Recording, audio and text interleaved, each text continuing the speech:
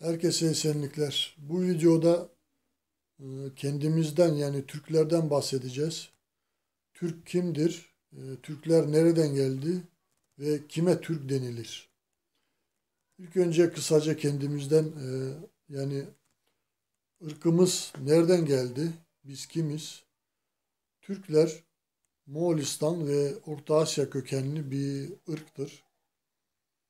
Türklerin tarihi en geç Hunlardan yani milattan önce 206. veya 200'lü yıllardan başlar. Yani Hunlardan başlar e, Göktürklere, Selçuklulara, işte Safevilere, Osmanlılara bu şekilde e, uzar ve devam eder. Türkler e, Göktürk devleti bölündüğünde birçok boy değişik değişik coğrafyaya göç etmiştir. Ve bu şekilde Türkler e, bugün ülkeler oluşturmuş ve e, halklara bölünmüştür. Şimdi gelelim Anadolu'ya. Anadolu'ya gelince e, yani Türkiye'ye Türkiye'ye gelen Türkler Oğuz boyundandır ağırlıklı. Tabii ki içlerinde Kıpçaklar da var, Karluklar da var ama Selçuklular genelde Oğuzlu ve 24 Oğuz boyundan oluşuyordu ve bu 24 Oğuz boyu Anadolu'ya hakim oldu ve Anadolu bu şekilde Türk yurduna dönüştü. Şimdi Türk kime denilir? Özellikle bu konu Türkiye'de çok tartışılır ki bence saçmadır. Yani bunun tartışılması bile gerekmiyor. Çünkü Türk e, belli bir tanımı vardır. Bize göre Türk kimdir? Hatta bize göre değil, bilimsel olarak Türk kimdir? Türkler, Türkçe konuşan, soyu Türk olanlar Türktür. Yani senin öz dilin Türkse, soyun Türkse sen Türksün.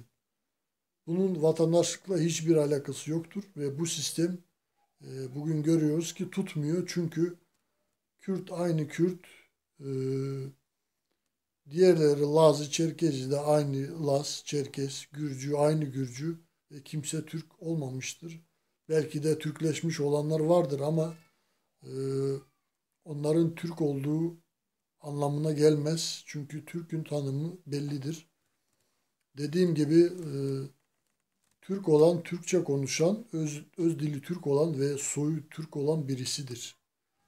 Yani seni vatandaşlık Türk yapmaz. Sadece bu ülkede vatandaşlık haklarını verir.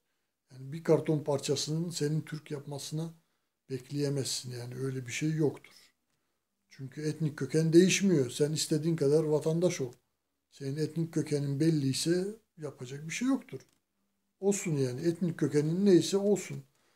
Fakat şöyle bir olay vardır.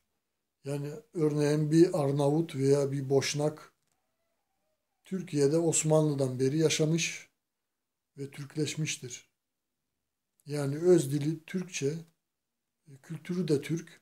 Adam başka bir şey bilmiyor. Tabii ki bu tür kişiler kendine Türk dese biz onlara bir şey diyemeyiz. Yani kendine Türk, kendini Türk olarak görüyorsa e, demek ki Türktür. Biz onlara bir şey diyemeyiz. Tabii ki bizim tanımımız belli.